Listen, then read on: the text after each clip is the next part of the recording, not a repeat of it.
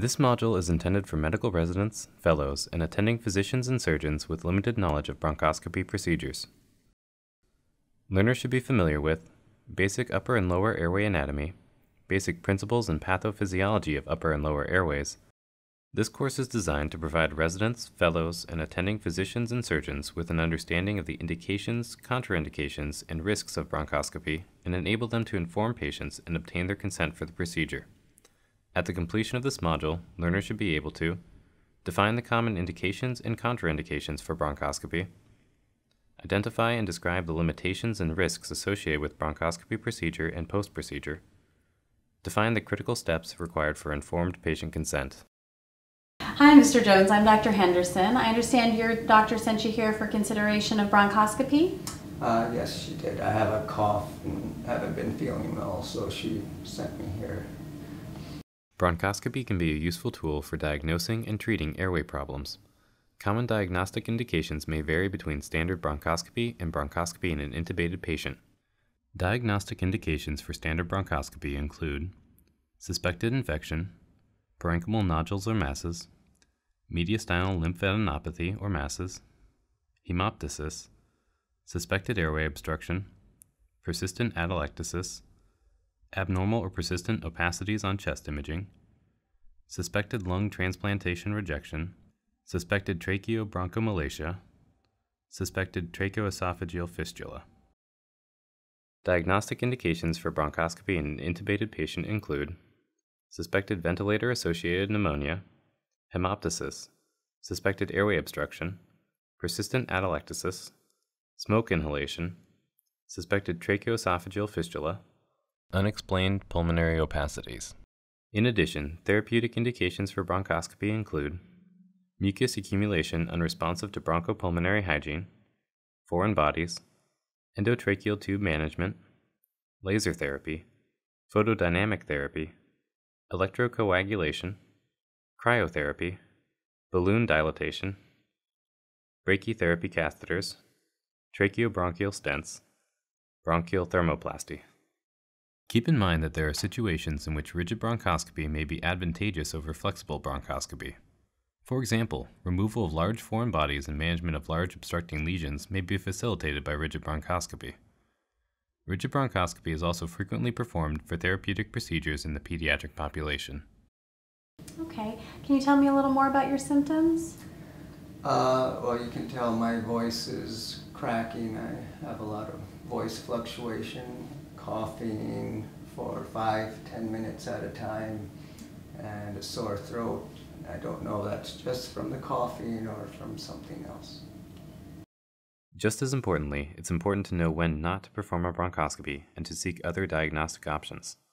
Contraindications for non emergent bronchoscopy include recent medical events, ongoing or recent myocardial ischemia, decompensated heart failure, current exacerbation of asthma or COPD, life threatening arrhythmia within six weeks, severe hypoxemia.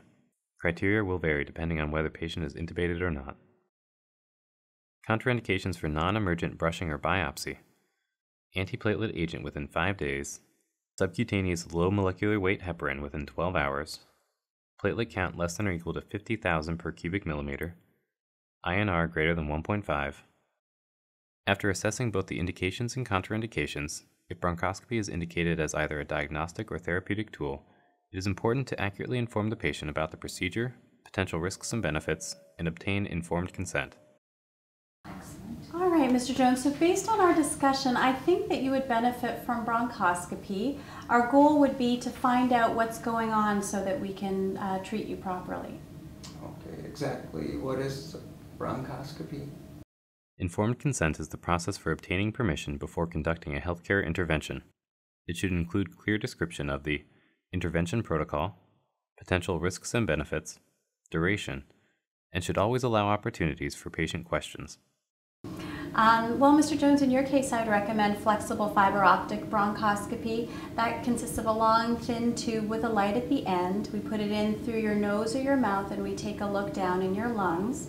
We do give you numbing medication for your throat and your nose uh, and a little sedation so that you're comfortable through the procedure. Okay. When obtaining patient consent, it is important to explain the details of the procedure at a very basic level, including how long they can expect the procedure to take. So the entire procedure should take about 30 minutes and you can go home right afterwards. You will need someone to drive you home because of the medications that we will have given you to relax you during the procedure. And in fact, you really shouldn't drive for about eight hours after the procedure. Okay. A critical component of informed consent is a description of the potential risks. Risk of bronchoscopy include new or worsened hypoxemia, hoarseness or sore throat, transient fever, cough and bronchospasm, infection, bleeding, increase with biopsy, pneumothorax, increase with biopsy, arrhythmia. This discussion can often be a scary moment for patients, so it is important to share a complete list of the risks, but in a way that does not alarm the patient. Be sure to include information of what the patient can do if they experience any problems following the procedure, after hours included. Is it safe? Are there complications? It's generally a safe procedure. Complications are rare, but I would like to take a moment to go over the risks with you. Is that okay? Yeah. Risks of the procedure include shortness of breath, fever, infection, bleeding, and very rarely collapsed lung. The commonest things, though, afterwards are to have sore throat or hoarse voice, and usually that goes away within a day or two. Certainly, if you have any problems, you shouldn't hesitate to call us, and even after hours, you can reach us and we'll give you reading material with uh, phone numbers at the bottom. Do, does that all make sense so far? Yeah, yeah. Any questions about any of that? Can I eat after the procedure?